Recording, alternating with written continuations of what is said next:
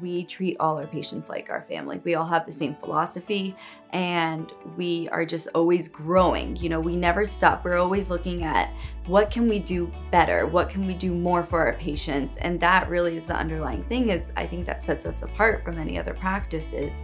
We do constantly thrive to provide the best service we can and to constantly improve for our patients. The facility that we're in right now is a brand new facility. It's 14 operatories outfitted with the state-of-the-art everything. Any sort of upgrade or update that dentistry has to offer at this time. We also used a, a very unique company to design this place. That company specializes in space efficiency and flow. I think that all just translates to how you can treat a patient. You know, it, it just makes it smoother, easier, and you know, hopefully the patients feel that when they're in here. We truly are a general cosmetic office. We do fillings, extractions, crown and bridge, implant dentistry, Invisalign treatment, full mouth rehabilitation, veneers, removable appliances and partials and dentures. So there's really not anything that we don't cover here. And we find that patients are, are thrilled with that. I mean, you know, you come here and, and you get what you need.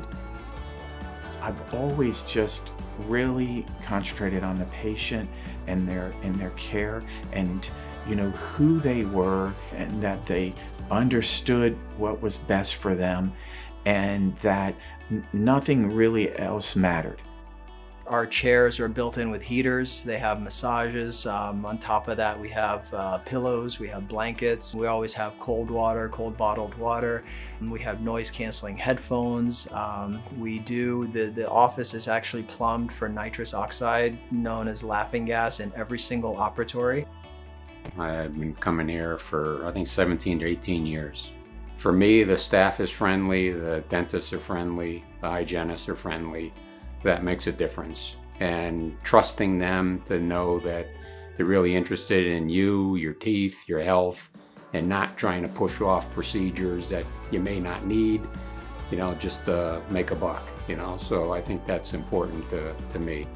Once you get into the office and see how well they take care of you, uh, you you'll make the change. Plus, it's a family practice. It's for the whole family. It's not just for one person. They took care of me. They did what I wanted, how I wanted it done, and everything's been good. The whole day is covered, seven to seven. We're available here. Someone's, you know, always manning the phone and accessible. I mean, there's not any time between those hours that you know we are out of touch in a sense. We're also open on Saturdays. Um, I think that's that's been fantastic. I mean, the community response has been amazing. I mean, just to have that extra, you know, out of work or out of school time to be accessible has has been really good as well.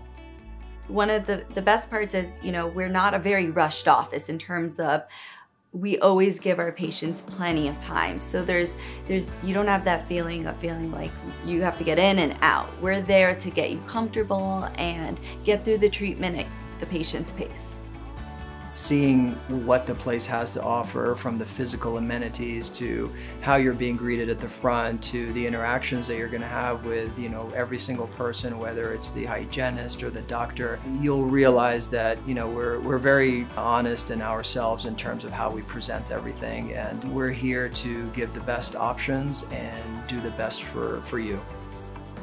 We really want to do what's best for you and we have systems and technology that are going to get you there. And, and it's just a matter of, of coming on board with us.